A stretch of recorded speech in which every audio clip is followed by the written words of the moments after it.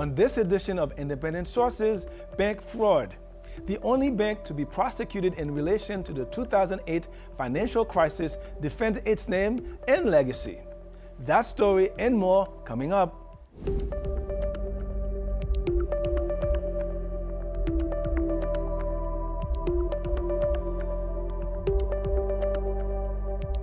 Independent Sources, your window to the city's ethnic and immigrant communities. Here's your host, Garry Pierre Pierre. The phrase too big to fail has become synonymous with the 2008 financial crisis that nearly toppled the United States and the world's economy. It's also become a source of visceral anger for many Americans who believe that none of the banks face indictment for their practices. That's not completely true. One did. The Chinatown based Abacus Federal Savings Bank was the only one prosecuted by the Manhattan District Attorney's Office. A new film by Hoop Dreams director Steve James tells the story of the community bank that fought a five year legal battle to protect its name and legacy. I spoke to James via Skype about the new film now airing on PBS. Today, we are announcing the indictment of the Federal Savings Bank on mortgage fraud, securities fraud, and conspiracy a federally chartered bank that has been catering to the Chinese immigrant community since 1984. If you were going to pick on a bank, a family-owned company, wedged between a couple of noodle shops in Chinatown is about as easy a target as you could possibly pick. When I was a lawyer, there was no bank owned by Chinese and serving the Chinese. When I walk around here, I feel very much at home. This is a very uh, tasty uh, noodle shop. That's always special. That's the bunch, isn't it, the bunch? when we were children, my dad was excited about this bank he was going to start. We serve people who've never even dealt with the banking system before. This whole ordeal began in 2009. One of our loan officers stole money. He was lying all over the place. He was running a money laundering operation. I fired him that day. They went straight to their regulator and they told them about it. The DA's office started asking us questions. Wait a minute, maybe we're the target. If that prosecution goes through, that bank is going to go out of business. Although this is David versus Goliath, they're a whole family of lawyers. We spent a lot of time investigating and ended up absolutely convinced that the loan department was corrupt through and through. They routinely falsified mortgage documents. Reporters in this town were treated to this extraordinary photo opportunity, this almost Stalinist-looking chain gang. Herded like cattle down the hallway. I've been doing this for 25 years, and I'd never seen that happen. Mommy's worried. Papa's 80 years old. He's been up since 5:30 a.m. He has nothing to eat for dinner. Let's let's get you some food. Papa, you do. This is how he is. He's very calm, and I'm like a jumping beans. I'm always running around. You're gonna eat now. You're old to the land, okay? You're not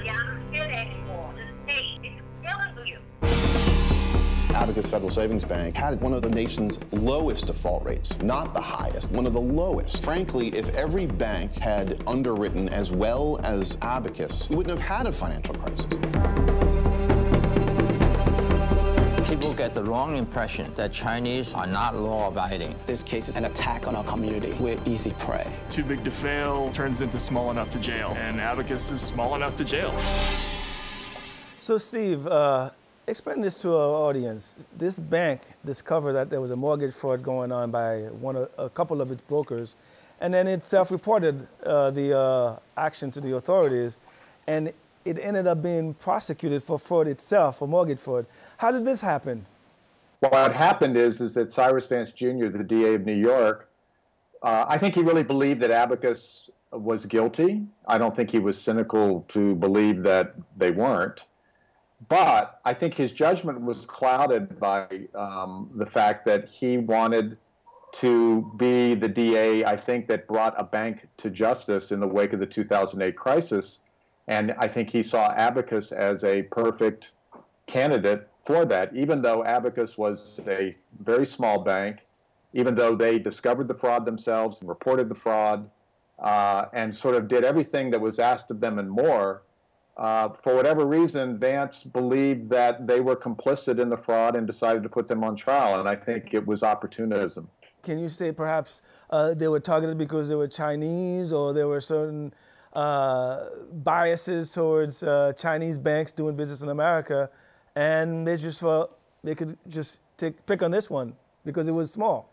I don't think that the racism that went on here, and I do think racism went on, was the overt kind of racism, uh, you know, that we've seen too much of this in this country.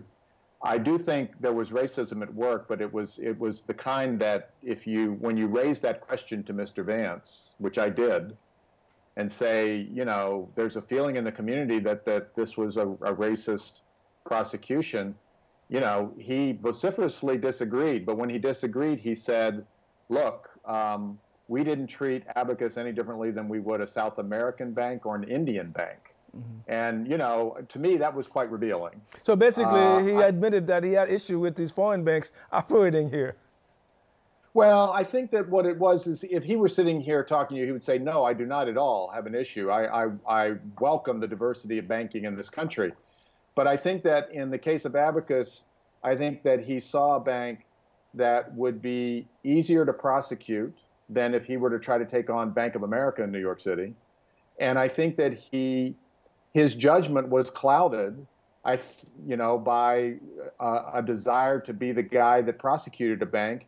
And I think that, you know, if he looked at Abacus and looked at the community is from, he is an elected official I don't know if it was in his mind or not, but it's true that he didn't have to worry about um, a politically disenfranchised group of people like Chinese immigrants in New York City politically. You know, uh, the the film you have uh, this, this, this segment there where you know you have the whole family in chains. They're just walking them like uh, perp walk, and uh, the, this is not how white collar criminals are often portrayed. Why is it? I thought that was a bit excessive no. to really uh, humiliate the, the, the, family the way they did.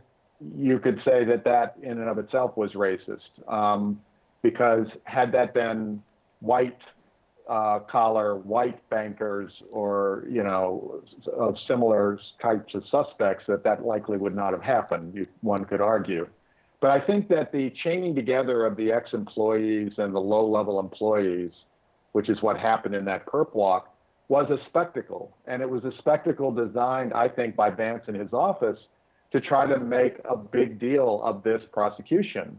And, you know, it's not like they were members of the uh, Medellin drug cartel being paraded down the corridors of the courthouse. These were like low level, mostly ex loan officers for Abacus. Mm-hmm.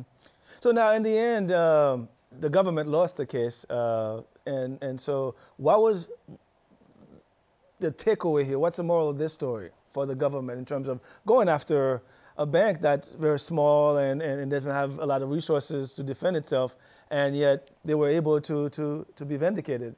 Well, I think there is a number of messages here. One is, is that this is very much a story about the unequal application of justice in America, that and that the hammer of that tends to fall inordinately on people who are poor, people who are color of color, and immigrants. And this is certainly that kind of story. Um, the difference here is is that this was a bank. They, they, the the Sungs aren't poor. You know, they're not Bank of America rich, but they're not poor. Sure. And they were determined to defend themselves. And most people who find themselves in this position are not in a position to do that. They roll over, whether they're innocent or not. They roll over and plead because they they can't afford to defend themselves, and the Sungs did. So I think this is an important story about fighting back. It's also a story about the exoneration of a community and of a bank that um, was unfairly targeted for a prosecution connected to a crisis which they had no connection to whatsoever. Abacus, the, the fraud that went on at Abacus, that Abacus discovered and set about to correct, had nothing whatsoever to do with what went on in 2008. Abacus wasn't engaged in credit default swaps. They weren't engaged in subprime mortgage packaging or any of those things. This was just very low level fraud being engaged by borrowers who wanted to buy a home and actually were good for the money for the for the home because none of these loans that were under indictment went into default. Abacus's default rate on mortgages is 120th the national average. They are an exemplary institution in so many ways. So, uh, what was the community's reaction? I mean, did they see this as a, persecution or prosecution of them as, uh, as a community, or did they isolate it just like this bank as a, a, a special case? Well, the community, I think, for the large, uh, for the most part, rallied around Abacus. There was tremendous coverage of the case in the Chinese American press in New York City because Abacus was a uh, a, a, pillar in that community, and Thomas Sung especially is so. That that there was um, there was real concern and consternation on the part of the community about how this was going to turn out. Why well, do you want people to get out of this watching this documentary? this story of a small bank being uh, picked on in the wake of this financial crisis is more than just a footnote to that crisis. It's it shows in sharp relief what wasn't done when it related to the big banks who almost crashed the world economy, and what was done to a tiny bank that was innocent. Um, I also think it's an important story of resilience and uh, and and this about this incredible Chinese American family. And the heart of this story really is their journey, their struggle, their perseverance and courage, uh, and and that's really the emotional heart of this story. Thank you very much, Steve. Thanks for joining us. Thanks for having me. Abacus, Small Enough to Jail, premiered on September 12th and is available online at pbs.org slash frontline slash abacus. Still to come on the show, finding affordable housing for fleeing victims of domestic abuse.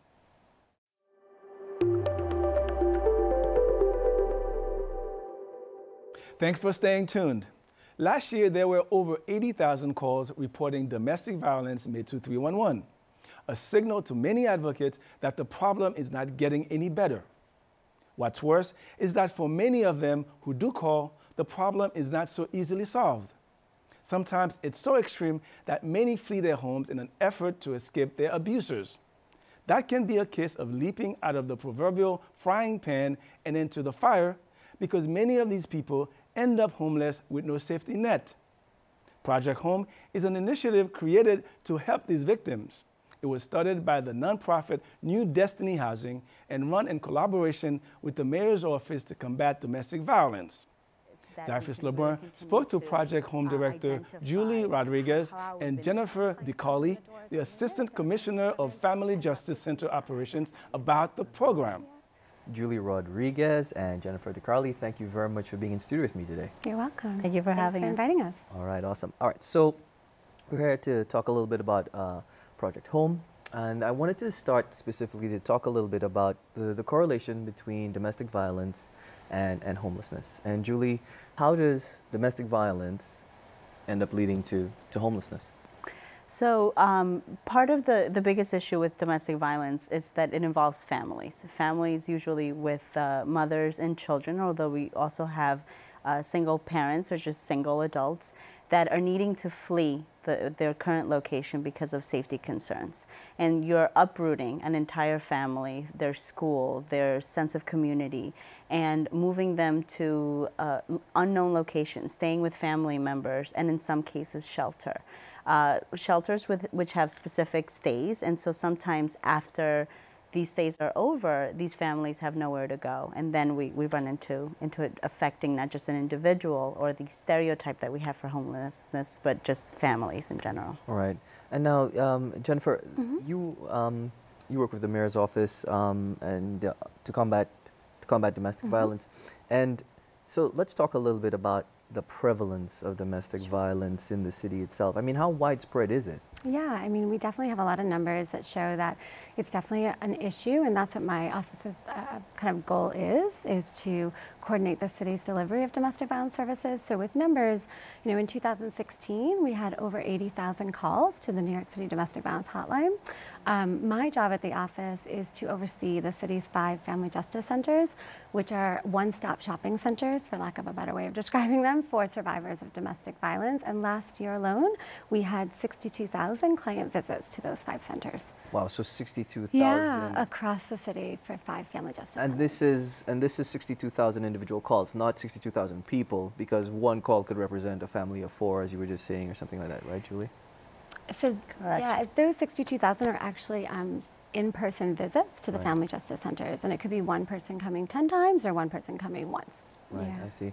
So now, Yuly, these folks who are calling in, uh, and they're directed, you guys, the, the, two organizations work together and kind yes. of trying to sort through the numbers and so forth. Um, those folks coming to um, Project Home, is there a specific um, kind of criteria that they need to meet to be a part of the program?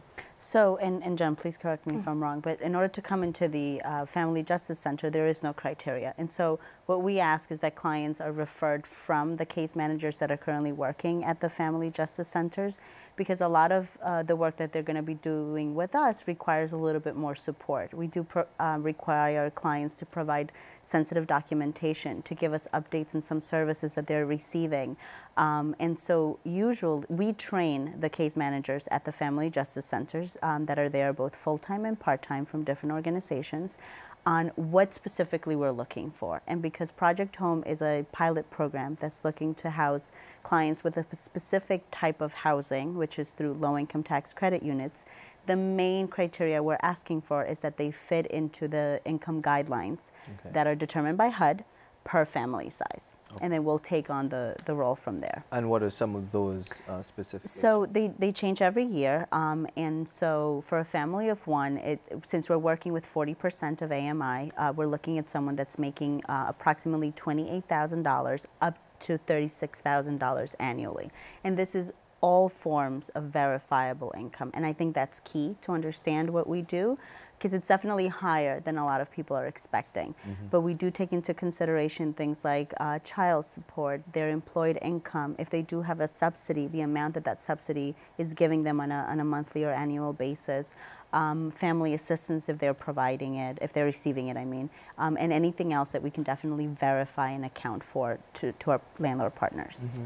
And the only thing I would add to what Yuly said is that um, for someone seeking help with domestic violence, the only criteria for family justice centers is that you identify as a survivor of domestic violence, sex trafficking, or elder abuse. Mm-hmm. Um, the services are all free, and they're really one-stop shop. So you walk in that door, and there's going to be a brief screening, and then connected to a case manager who will identify what challenges or what issues you're facing. One of which might be housing instability, where you really need to be connected, hopefully, with a program like Project Home that could assist mm-hmm. you. Mm-hmm. And how do folks get in touch with with, with your organization? So Family Justice Centers um, are located in all five boroughs, as I mentioned, and they're walk-in centers. You don't need appointments, um, and you can call 311 for all of the addresses or call the city's domestic violence hotline, 1-800-621-HOPE. Um, um, and so they will give you the address, and you can just walk in and get help. Mm-hmm, mm-hmm. so far, how many clients has Project Hope been able to put into um, this affordable system? So right now we're still in pilot. Um, we finish our pilot mode in September of this year. Um, and uh, we've been able to place 43 families. And the families range from uh, single people to women with children as well as men uh, with children or, or men independent. Um, we've also had a 100% retention rate, which is really one of the greatest things that we're extremely proud of and happy in regards to the pilot program. What this means is that some of the families that have been placed are on their second year lease, and some are even signing up to their third year lease. So, our hope is that we can really continue to uh, identify how, how we've been this successful so that we can try to eliminate the, the revisits to, to homelessness and homeless shelters. Right. Are you working with landlords to, uh, in, in this regard? We are. So Project Home is, is a program that's part of New Destiny Housing, and New Destiny itself is a nonprofit developer. And so from all of our years in working in that we've learned of certain things that landlords work, work, look for. And so we've managed to have 19 relationships with a combination of for-profit and nonprofit landlords. Mm-hmm.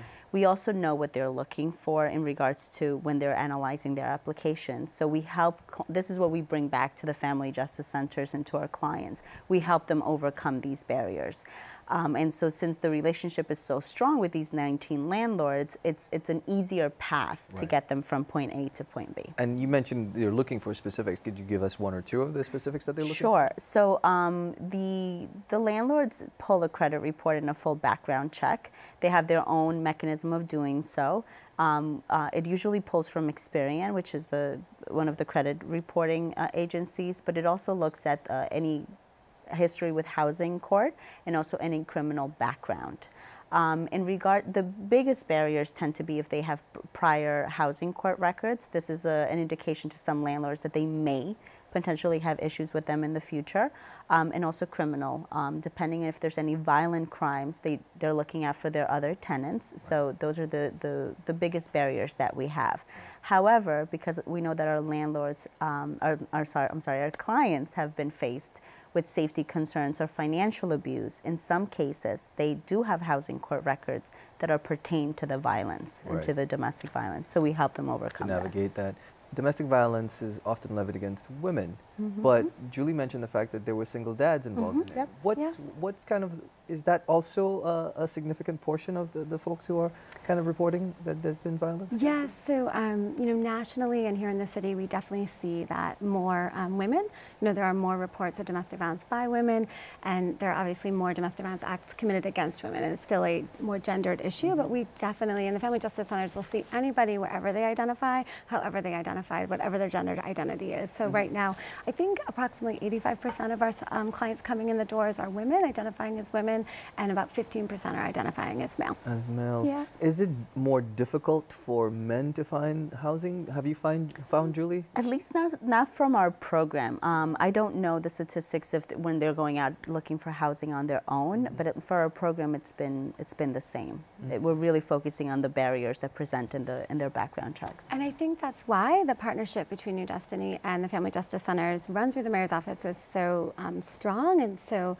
um, advantageous because all of those things that um, Yuly mentioned, like the financial credit reports and all of that, that can all be provided at the Family Justice Centers. So we have financial um, partners that come and look at people's credit. They help them do credit repair. It's all right there. So it's literally you go through one door and you can be referred to someone to help you with your credit repair. You can be referred to somebody for long-term counseling. We actually have housing legal services lawyers now because the city's been doing an amazing job really investing in um, more legal services in housing court to help people stay in their homes and prevent evictions. And so we have those partners there as well. So I think by housing a project like Project Home within that kind of multi-service center, mm -hmm. it really strengthens um, their results um, and allows them to have more kind of life-changing results. To be able to have people stay in shelter for two years is really yeah. amazing. Yeah. So. What are some of kind of the long-term goals for Project Home there, Julia? Uh, the goal for the pilot was to house 40 families, and we were supposed to complete that by September. So we're definitely ahead of the curve we were not expecting 100% retention. Um, and so that's, that's been a, a, surprise, but one, a happy one at that. So we're definitely looking to expand and continue doing the work that we do. We're currently looking to uh, find funders to help us do that. And the hope is that, to continue to do it at all the five FJCs. Currently, we're, we're at three of them. Mm -hmm. yeah. And the other, I think, really great part of the program that Yuly has not mentioned is not only has it housed over 40 people, but it does have housing tips workshops. So it's actually provided individual workshops to anyone who's looking to kind of just understand what all of their options are, because it's, it's a, that's complicated, right? right? As someone who works in it, it's still, we have to go to all day trainings to train people on the, right. you know, the different options available. And they do great workshops for um, clients of the center to help them prepare their applications for housing. And they've trained over, I'm guess 200. It's over 300 yeah, at this point. Uh, we've had 67 workshops since the beginning of the pilot. Yeah. Right, right. And so that's all still done through the mayor's all through office? the Family Justice Centers, yeah. All on site well, at the centers. All right. Well, Jennifer and Yuly, thank you so very much for being in studio today. This was a great conversation. Great. Thank Thanks you for, for inviting us. us. All right. When we come back, getting black boys to read in a familiar setting.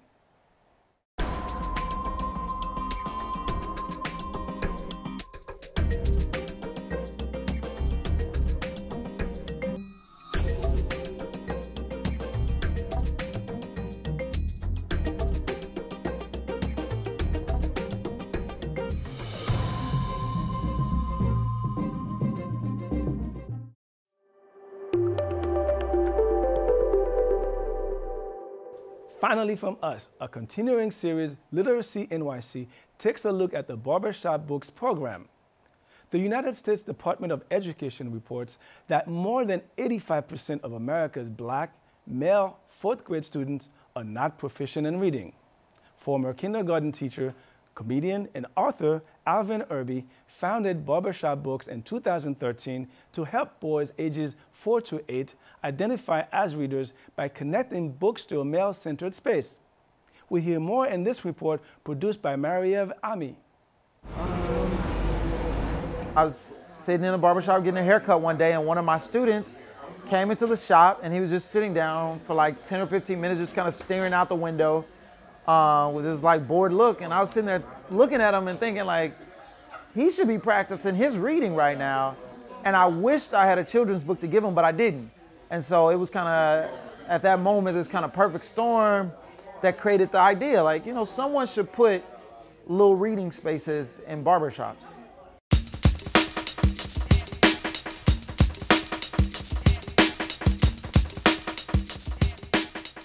Barbershops are cultural centers, you know. Kids start going to the, boys start going to the barbershops usually around age two or three. Um, and they come at least once a month or sometimes twice a month, depending. Whenever you have any type of significant event in your life, you go get a cut. And so part of Barbershop Books work is we want to try and leverage the relationship that barbers have with young boys to hopefully get more boys to really, you know, identify as readers and feel a lot more positively about, you know, reading and about books. But I thought that it was a smart idea. I read chapter books mostly books that are very detailed and are very long, so I don't read them too quick. Kids are so much on social media and on tablets and stuff, and if they have something else to keep them occupied, you know, instead of electronics, it's a great thing. We do see kids reading more. We um, actually push them to do it too. When you look at the first few years of school, kindergarten, first grade, second grade, there are almost no black male teachers right? And then a lot of young black boys are raised by single mothers, so they may not necessarily have, you know, male, black male reading models at home, but they go to the barbershop. We're like role models to the kids. And um, also, you could say we're like babysitters to the, you know, parents come drop their kids off here and works hand in hand, you know. I wrote a book, my first children's book. It's called Gross Greg, and it's about a little kid who loves to eat his boogers. You call them boogers, but Gross Greg, he calls them delicious little sugars.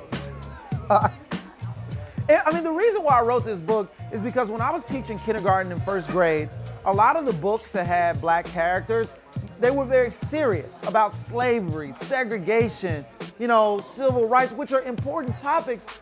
But these aren't the only books that children should have access to that have characters that kind of look like them and that's part of the reason why our selection, our curated list at Barbershop Books includes many humorous titles. And we believe that if we can create the type of reading experiences that help boys to identify as a reader, then they will read for fun. Many children's early reading experiences in school are almost exclusively skill-based. It means every time they pick up a book, someone's asking them to take a test or answer questions. And those things don't necessarily cultivate a child's intrinsic motivation to read. So when they leave school, they stop reading because for them, reading is about a test or reading is about, uh, you know, a skill. And what we want kids to understand about barbershop books is that reading is actually something that you can do anywhere at any time. I think it's great. I think it's food for thought, you know. It's, and they're, they're like sponges, so they, they need it, you know. It's like the best, let's say like the best nutrients for the brain. Everyone doesn't have access to these things, and yeah, uh, if you get a if you get a haircut and you're able to get a haircut and get a few minutes of reading in, I think that's a great thing. We have child-friendly reading spaces in about 56 barbershops right now um, in just over 20 cities uh, in about 13 states. And our goal is, is to expand into 800 barbershops over the next three years in 20 target cities. Philadelphia, Atlanta, Chicago, DC, Baltimore, Detroit, we want at the end of the day for young black boys to say three words, I'm a reader. It starts in the neighborhoods, it starts in the barbershops. Let's put some more good into it. That's our show this week. Thanks for staying tuned. Till next time, be independent minded.